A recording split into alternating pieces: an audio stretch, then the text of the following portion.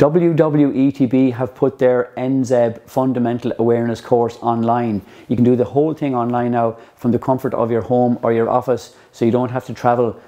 Uh, we're all a bit restricted at the moment, but we need to get up to speed on NZEB because it came into effect on the 1st of November 2020. So visit WWETB's website today, read up about the course, and register your interest.